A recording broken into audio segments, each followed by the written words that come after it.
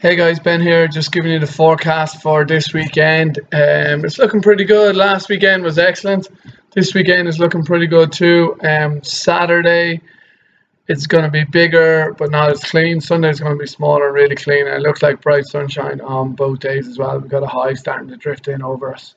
So let's get into it in a little bit more detail. Saturday is seven and a half foot um, from the southwest swell with 11 second period. So if you divide that in half, you're down to three foot.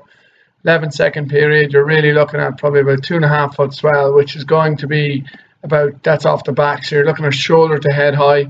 It is kind of a northwesterly wind. So it's going to be cross on really. Um, so it's going to be a little bit disorganized, but um, there is going to be plenty of power and reasonable size waves uh, on Sunday and bright blue skies. The tides are big this weekend, so you can't get in the water till about half 11 um, and you can go through till about half five, six o'clock on Saturday.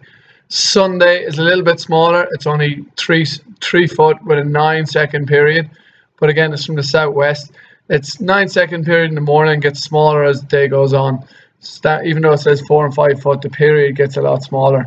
So you're probably looking, and there's actually another, sorry, just as I said that, there's another swell underneath that as well, a two foot nine second swell as well. So you're probably looking at kind of waist shoulder high.